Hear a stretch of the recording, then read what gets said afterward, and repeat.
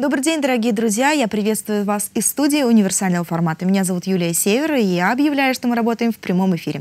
202 11 22 – это телефон, создан для того, чтобы вы стали участниками нашего эфира. Задавайте свои вопросы, адресуйте вопросы нашим гостям. Ну и, конечно же, розыгрыш призов не за горами.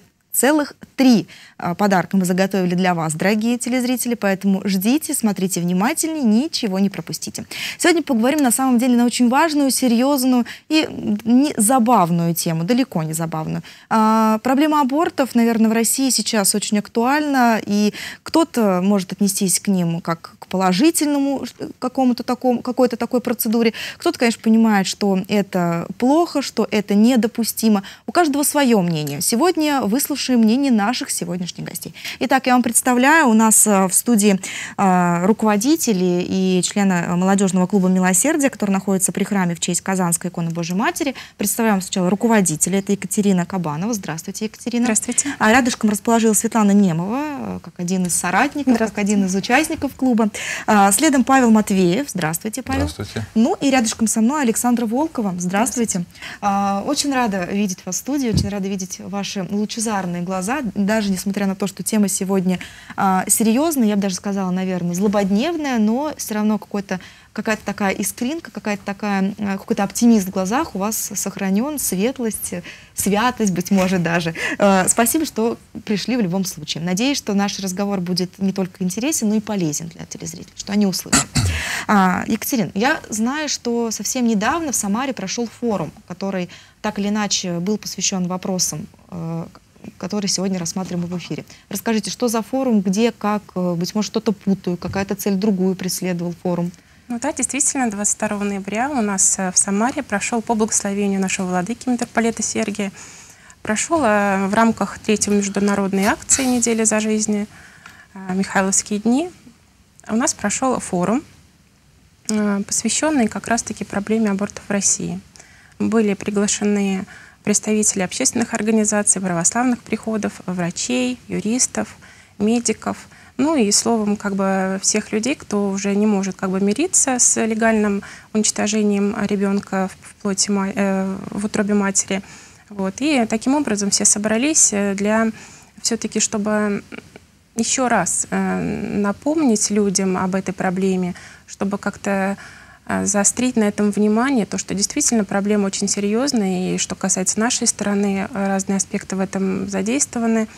Вот. И вот сейчас вот немножечко расскажу о форуме, что там было, угу. как. А, нас а, в этом году поддержал даже с политической точки зрения председателя Самарского отделения партии «Родина» Сергей Анатольевич Мирошниченко. Он с приветственным словом как бы а, выделил, угу. выделил демографические аспекты именно этой проблемы и оказал нам действительно поддержку в этом движении, в движении общероссийского, так скажем, масштаба за жизнь. Вот. И поддержку э, именно, чтобы э, производился сбор подписей вот, а, чтобы на законодательном уровне все-таки, чтобы эта как-то проблема решалась именно. Угу. То есть мы должны сегодня понять отметить, что эта проблема имеет несколько аспектов. Первый из них это да. демографический, собственно говоря. Тоже немаловажно. Государство, да, тоже страдает от а, этой проблемы, от этого аспекта, от а, этой процедуры, если вот, ну, разрешите так назову, да, как многие называют аборт. А, хорошо, дальше, что же еще был, было на форуме? А, вот э, э, члены именно духовенства, представители духовенства нашей епархии, они выделяли э, тоже довольно-таки интересную тему в наше время, очень актуальную. Они э, призывали всех задумываться о ценностях семьи. Потому что в наше время, как сейчас мы все видим и знаем, э, все ценности семейные, они потеряны. Такие понятия, как супружеская верность, многодет, многодетство, почитание старших, любви к детям – супружеская верность, э, они мало того потеряны, они все до такой степени искажены, изменены.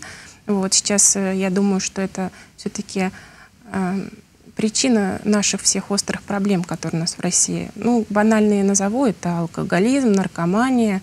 Вот. Я думаю, что никого это не оставляет равнодушными. Вот. Но мало кто задумывается, откуда это и чего это корень, как бы чего.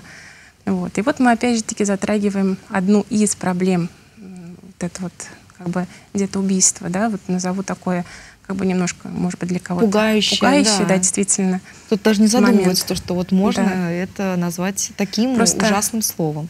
У нас действительно сейчас, вот я даже статистику такую немножко приведу, а, около 17% в нашей стране сейчас бездетные семьи, а, около 60% это семьи, которые имеют только одного ребенка, около 32%, и всего лишь 6% это многодетная семья, а, которая имеет трех и более детей. Естественно, цифры как бы не впечатляющие, 6% это, естественно, такой плачевный. Очень плачевно. Капля в море. Так. Капля в море, тем более а, три ребенка, мне кажется, раньше это абсолютно не многодетная Ну, семья действительно, считалась. как будто бы это не это наша. абсолютно нормальная, да, семья считалась. а, От сеч- трех. Да, От трех. От трех. А сейчас три это действительно мать героиня, отец герой и семья. Ну, многие, кстати говоря, мне кажется, сейчас, опять же, потому что искажены у нас какие-то, наверное, понятия и ценности, думают, то, что три ребенка, значит, хорошо живут, значит, есть Да, деньги, да, чтобы воспитать. есть. Есть, а да, у кого такое? более там вообще-то Это, получается. это наверняка, Ну, потому вопрос денег в наше время на самом деле не очень актуальный. Как-то все-таки так вот опять же таки смотришь, раньше оправдывали этот грех, то, что действительно какими-то материальными благами. Но Мгм. у нас такой век, слава богу, то, что никто у нас не умер сейчас от голода, э, ни один человек. Ну, по крайней мере, мне все Вот. равно, мне кажется, если задать Поэтому- женщине почему, а, говорят, ну, что не воспитаем. Мне кажется, вот сейчас какие-то же личные а, условия не позволяют, быть может, Ну там вот как раз-таки так все и сводится именно то, что женщина сейчас не хочет себя лишать комфорта. Все-таки ребенок это действительно серьезный момент, это какие-то все-таки обязанности требуют от родителя, да, и э, чтобы все это не не сталкиваться с этим, это легко сейчас действительно вот сделать такую вот процедуру, да. Мгм. Потому что Страшно. женщина на самом деле, она, э, когда делает шаг и оставляет ребенка, она должна понимать, что ее жизнь ей уже не принадлежит. Принадлежит только детям, чтобы их воспитать достойными людьми. Мгм. Мне кажется, здесь еще очень важна все равно так или иначе поддержка мужчины, отца. Э, Если женщина чувствует опору, да, если действительно семья это семья, то, наверное, она вот, ну, не пойдет на такое. Я так думаю, по крайней мере, это мое мнение. Не буду настаивать, не буду э, спрашивать вас, но разрешите тоже его выскажу. Мне кажется, Конечно. все-таки есть такое. А, хорошо, Конечно. отвлеклись немножко, не отвлеклись от темы, отвлеклись немножко от формы. А, я так понимаю, что а, были действительно представители и Я культур- можно еще да, про конечно. духовенство скажу, да, то, что э, отцы и батюшки, они призывали именно действительно всех э, слоев общества и вообще вот э, всех граждан нашей России именно пропагандировать, не касаясь веры даже, да, все равно э, всегда жили вот эти ценности семейные, всегда, э, как мы знаем, все идет из семьи, да, вот. И батюшки призывали именно проповедовать эти качества семьи. Мгм. Вот. Все-таки в наше время сейчас пропагандируется нечто иное. Да, и мы как-то вот смотрим, опять же таки, по молодежи, и вот у нас у всех дети, и, конечно, все-таки мы заинтересованы а, в том, чтобы наше общество изменялось, потому что в этом обществе в дальнейшем будут жить наши дети. Мгм. Это вот главная тема форма. Тоже Вы, вы поддерживаете, да, свою коллегу. Так, хорошо, разрешите, пожалуйста, обращусь к нашим телезрителям. Сегодня мы заготовили для вас вопросы из категории «Единственный неповторимый». Ну, вот так вот э, решили мы вас сегодня помучить.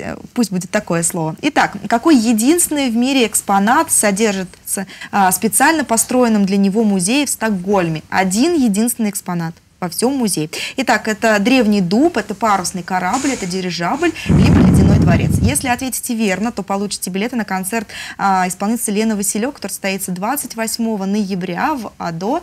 А, любители, любители этой исполнительницы, этой певицы, я думаю, с радостью отправятся на это мероприятие. Итак, какой единственный в мире экспонат содержится специально в построенном для него музее в Стокгольме? 202 11 22. Звоните, отвечайте свои предположения есть какие-то, нет, по этому поводу? Или будем дожидаться э, в- телезрителей умных, эрудированных? Думаю, да? Ну, давайте предоставим возможность. Конечно, я тоже так думаю. Хорошо. А как связан форум и ваш э, клуб э, «Милосердие»? Вы были организаторами, либо участниками, либо, а, не знаю, волонтерами выступили. В качестве кого? Ну, хотелось бы тогда из истории, да, в плане того, что клуб наш создан не так давно, это буквально весной этого года, наш благочинный нас благословил на это дело. Вот. И вот при поддержке батюшки нашего отца Вадима, мы как бы вот и разностороннюю ведем деятельность, но в том числе вот мы подключились к этому движению за жизнь. Потому что наш приход, э, ну, скажу, вот, да, думаю, многие об этом, конечно, знают, но а, наш приход славится многодетными семьями, как раз-таки, у которых три и более э, детей, да, вот. И нам близка эта тема. Близка, потому что все-таки ну, как-то вот не хочется мириться с тем, то, что действительно сейчас про происходит в нашей жизни, да, то, что все-таки такое равнодушие в обществе создалось по поводу вот этой темы. Вот.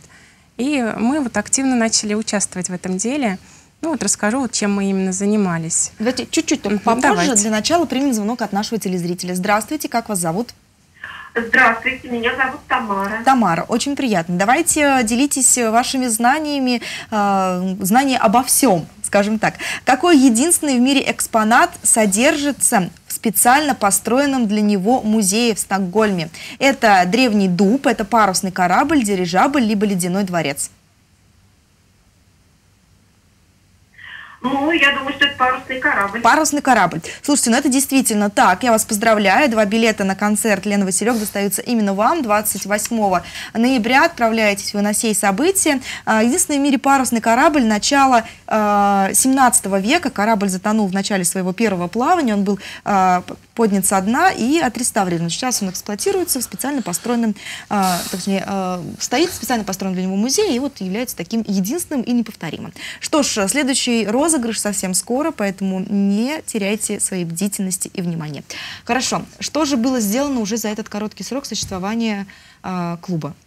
Ну, за это время мы, э, как сказать, больше просветительской деятельностью занимались, э, потому что в рамках вот молодежи, да, мы с, с, производили сбор подписей на рамках нашего прихода, мы также выезжали на другие приходы, собирали там. Люди действительно активно в этом участвовали.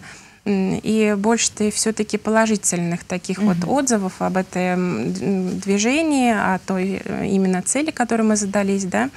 А, вот. Светлана, расскажите нам э, поподробнее. Есть, наверняка же, э, вот у нас, кстати, есть фотографии, можете как-то, основываясь на них, рассказывать о деятельности клуба. Ну, в данный момент мы видим, вот э, выставка, она была организована э, на празднике в рамках э, нашего храма, которые проводились на праздник Петра и Феврония, Спаса. И в этой выставке принимали участие и прихожане нашего храма, и гости нашего храма, которые нас посетили. Мы собирали в этот день как раз подписи и немного рассказывали о, о том вообще, для чего это все делается. Для, для чего, чего же нужно. А, да, нужен сбор подписей? Ну, вот. самое главное, наверное, это то, что мы собираем подписи для того, чтобы на законодательном уровне из обязательного медицинского страхования исключили аборт. Слушай, ну не боитесь ли вы а, резких взглядов со стороны а, обычных людей? Ну, резкие взгляды, наверное, будут всегда, потому что не бывает так, что э, все хорошо. Иногда в нашей жизни присущие э, моменты, с которыми приходится сталкиваться, какие-то проблемы. Но, честно говоря, мы не боимся. Мы верим, что многие люди на данный момент уже, когда вот мы собирали подписи, убедились, что очень много людей э, готовы поддержать это движение, э, готовы сотрудничать, как-то помогать, чтобы какой-то свой вклад именно внести вот в то, что мы делаем. Вот. То же самое, также вот э, очень было лестно то, что в этом принимали участие дети уже, конечно, постарше, ну, большая вот осознанность того, что вот 11-12 лет уже, дети 10 лет, они уже понимают, для чего все это делается, и какие-то вот ценности у них уже закладываются. Вот это вот, конечно, очень было приятно. Ну и то, что вот э, э люди все-таки сейчас, в наше время, пытаются э, уже разобраться, что такое семья, э, что, -то, что такое материнство, и присоединяются и ставят подпись. Потому что в наше время, конечно, при нашей всей загруженности Потому что я больше чем уверена, у, ка- у каждого в жизни есть э, и работа, и какие-то обязательства, нет времени просто. Э, но элементарно, вот, э, самое простое, что человек может сделать во благо всего этого дела, это просто поставить свою подпись. Если он а, действительно находит единомышленников, я имею в виду Конечно. а, в лице вас, если он понимает, для чего он это делает, то можно это сделать, да? Даже электронно. я А так вот сейчас. и действительно вот эти вот э, резкие ре- ну, реакции да, людей, которые ну, негативные, вот смотришь, она все-таки происходит, наверное, из-за несхватки как раз знаний. Мгм. Потому что у нас действительно сейчас э, какие-то есть стандартные понятия, которые люди просто так принимают, как бы как есть, и все. Они не задумываются, они не хотят углубиться в эту тему. Как удобно. Вот. Как есть, удобно. Да, как вот для них удобно, вот если они любую найдут как бы подпитку, вот как вот удобно, чтобы себя сам В оправдать. зоне комфорта. Да, и остаться оправдать. в своей зоне комфорта, да. А, слушайте, я знаю то, что а, на форуме, не знаю, открывали, закрывали в этот форум а, автопроге- а, автопробегом. То есть автопробег у вас а, был в качестве привлечения внимания. Что это было? Почему автопробег? Ну, я думаю, доверимся мужчине к- с этим вопросом. Павел, расскажите, пожалуйста. Да, как матушка до этого говорила, мы э, за это движение за жизнь в этом году только присоединились, так как у нас клуб еще молодой. Вот. А автопробег, получается, первый раз уча- участвуем. Вот, также хочу сказать, то есть автопробег э, не только в Самаре, еще в Тольятти, вот, в ближайших городах был. И так он вообще проводится по всей России. Ну Вот, э, кроме России, участники также ближайшие вот страны там, бывшего Советского Союза, то есть Беларусь, Украина, э, участвуют тоже. Почему именно в эти дни, ну вот э, в ноябрьские вот эти вот проходят? Потому что связано как бы с тремя датами. Вот. А, В 1920 году, это вот была первая, 18 ноября, по-моему, да? если- 18 ноября. ну, вот, был принят закон, и именно был э, в нашей стране, по всему, ну, пе- первая страна была, приняла, которая вот именно легализация абортов. Вот. Потом э, в 1955 году было опять, э, как бы, ну, в 1936 году запрещали частично в некоторых, как бы, этих регионах страны. Вот. В 1955-м опять э, разрешили вот эти вот легали, ну, как бы, аборты. Легализовали. Мгм. Да. Да. Вот. И в 1059, по-моему, году а, была еще принята Декларация прав ребенка. Вот. И в связи вот этих трех дат как раз проводятся Михайловские дни, попадают. Вот. И вот проводятся как раз по, по странам, по, вот, по России тоже, в частности. Автопробег. Вот автопробеги, да. Вот. У нас в Самаре, как бы хочу добавить, еще стартовал он автопробег от двух казанских храмов, вот у нас с завода и с коммунистической. Вот, э, стартовали, а, приехали мы э, в собор Кирилла Мефодия, вот, проехавшись по городу, как бы. А, Там дали, вот как раз форум состоялся у нас в духовно-просветительском центре Кириллицы. А, хорошо, скажите, пожалуйста, действительно, ваша мысль понятна, но неужели а, то, что сейчас аборты будут ну, запрещены, я имею в виду бесплатно, да, в, в обязательном а, медицинском страховании, неужели это э, действительно сделает так, что избегут некоторые женщины ошибку? Не будут ли просто потом идти и, и делать, а просто не будет этого бесплатно? Ну, мы же не в каменном веке живем. Мы сейчас живем все-таки в современной цивилизации, где очень много частных клиник. А, Мы говорим именно о том, чтобы исключить это из а, обязательного медицинского страхования, потому что те деньги, которые выделяются, а выделяются немаленькие деньги, можно было направить на поддержку как раз семьи и материнства. Вот. А э, также это останется за частными клиниками. И хотелось бы еще добавить, что как раз вот Паисий Святогорец, да, вспомни его, он сказал так, очень мудрую вещь, что когда э, женщина принимает решение детоубийства, она несет ответственность сама. А когда в этом участвует все государство, конечно, эта ответственность ложится на каждого гра- гражданина и на само государство. Все-таки действительно, если у нас э, страна самая официальная, это у нас православие, да, и все-таки мы являемся и считаемся православной страной, и все-таки не должно быть где-то убийства в православии именно. Александр, поддерживаете? Конечно. Поддерживаете. А для кого все-таки эта проблема актуальна? Для молодежи, либо это не Ну, имеет возраста?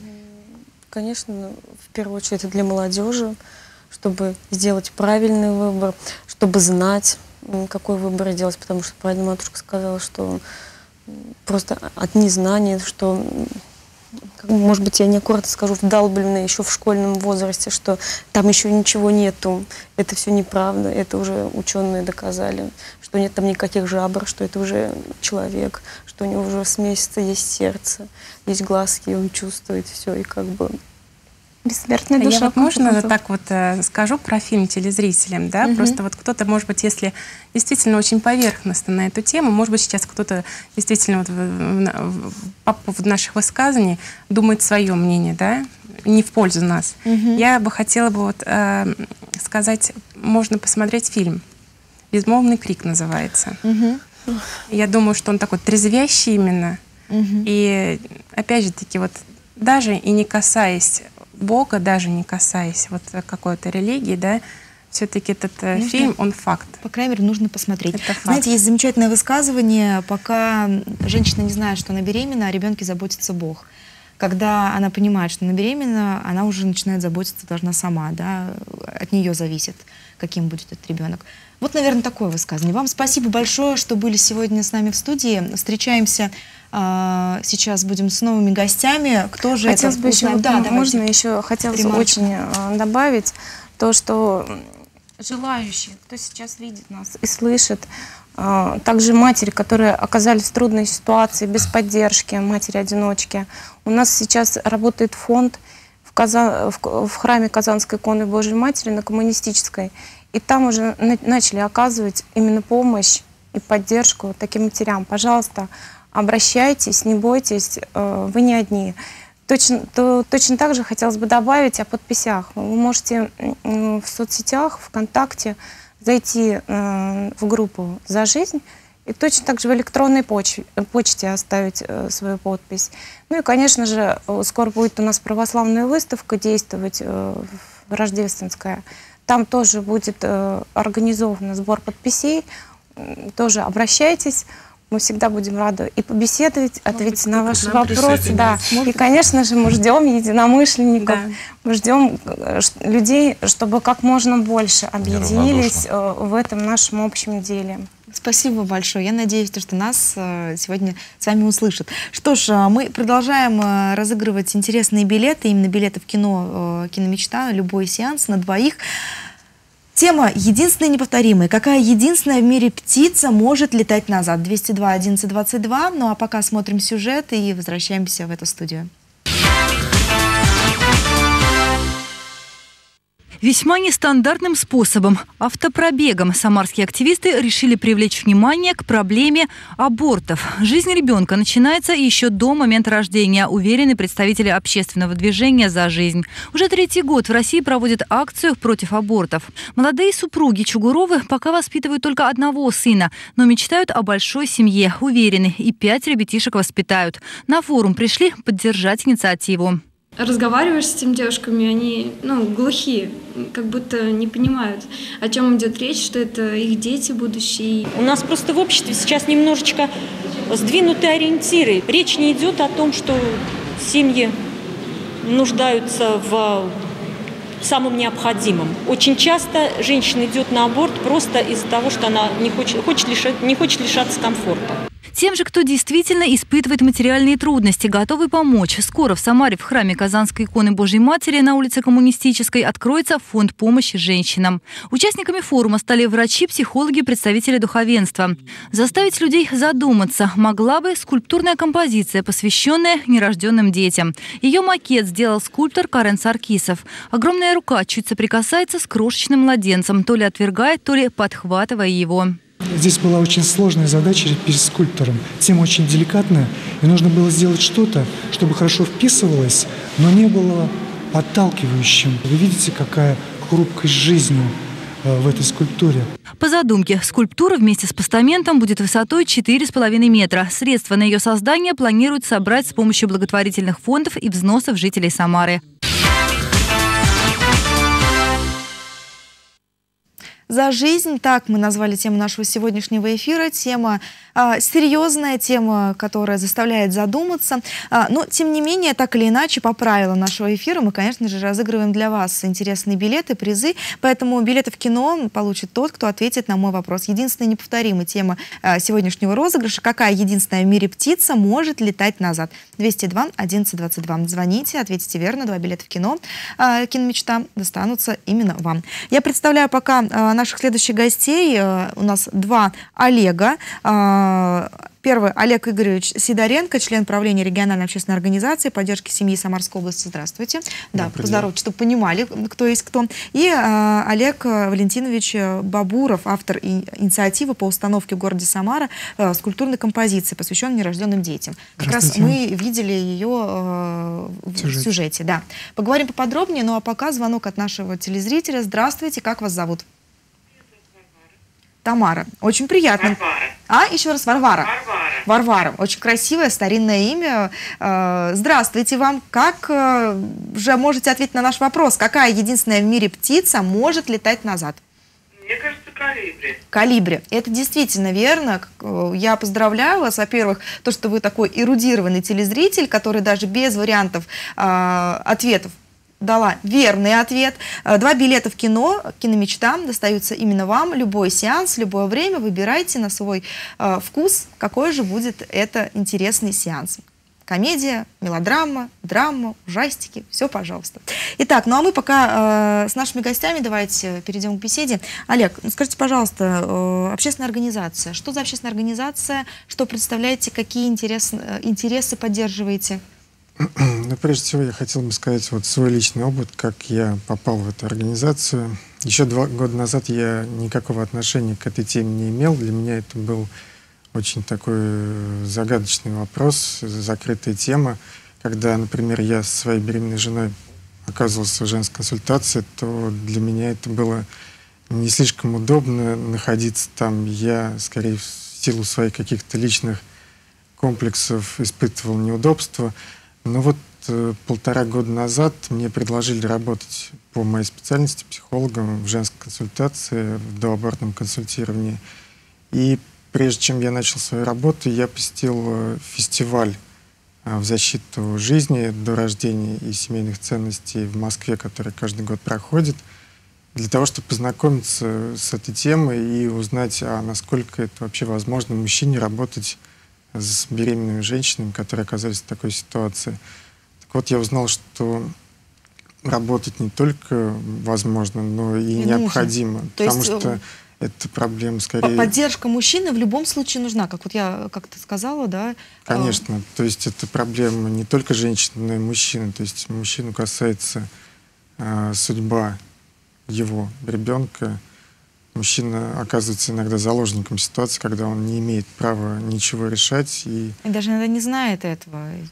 да, и женщина берет на себя слишком большую ответственность за двоих, можно сказать. Так вот, когда я начал работать у нас в Самаре, то я понял, что женщина, которая оказывается в такой ситуации, она испытывает чувство одиночества прежде всего. То есть она остается один на один со своей проблемой и, может быть, уже не ищет поддержки, потому что рассчитывает, привыкла рассчитывать на себя, но она нуждается в ней. И я оказался в такой же ситуации. Если я один, то я могу помочь ну, только в плане психологической помощи. А если а, присоединить к этому еще юристов, э, социальных работников и вообще всех неравнодушных людей, то вместе мы сможем гораздо больше. Таким образом, мы организовали нашу деятельность и основали вот нашу организацию, которая объединяет и юристов, и психологов. Поддержка семьи. Да, Мгм. конечно, мы поддерживаем как многодетные семьи, так и женщин, оказавшихся В вот в такой... сложном ситуации, в сложном выборе. Да. Мгм. А, вообще, кстати, очень отрадно, то, что действительно сегодня а, гостями эфира с такой темой стали мужчины. Это очень отрадно. Особенно отрадно, что, Олег, вы стали а, инициатором создания памятника в Самаре. Почему? Почему такая инициатива пришла? Прежде Близко. всего, это попытка изменить отношение общества к ценности человеческой жизни как таковой. Только в этом случае мы э, сдвигаем границу. У нас обычно считается человеком э, тот, который родился, который появился на свет. А тот, кто находится в утробе, к нему отношение несколько другое, э, как э, на законодательном уровне, так и на уровне мышления, то есть отношения в обществе. Поэтому, когда мы говорим об этом и когда мы поместим в информационное пространство города вот такого рода скульптуру, где она будет присутствовать постоянно и напоминать всем и каждому, что они такие же полноправные. Вот мы видим, да, как раз сейчас да, э, такие же макет, эскиз. полноправные члены нашего общества, и к ним также трепетно нужно относиться, как и к тем, которые уже родились. То есть это очень важный аспект. И вот вы видите сейчас вот эту макет этой скульптуры, как она будет выглядеть. Э, здесь действительно э, скульптору удалось совместить очень много. Вот мы видим как раз э, варианты да, размещения в нашем городе здесь. Да, то есть различные варианты размещения. В основном они здесь показаны на набережной, то есть на новой набережной, третьей очереди, там, где ладья, и на э, спуске Льва Толстого улицы. Вообще тема эта очень деликатная, почему очень сложно было сделать такую скульптуру. А, опять же, вот как я говорил, то есть э, должен был э, взяться за эту работу мастер очень высокого Здесь, класса. да, э, да, поясню нашим телезрителям, мы видим уже макет, готовый макет, да, 3D, скажем так, который можно посмотреть, увидеть не просто на бумаге. Причем в макете совмещено очень много, то есть это и вот этот, вот эта неустойчивость, вот эта хрупкость человеческой Грань. жизни, да, которая Э, такое ощущение, что хочется подхватить этого ребенка, не дать ему упасть. Это как обращение как родителям, что в их руках находится сейчас эта жизнь, и они могут принять решение. То есть, что они сделают? Либо подхватят руку, его, да, либо или они сбросят его в небытие.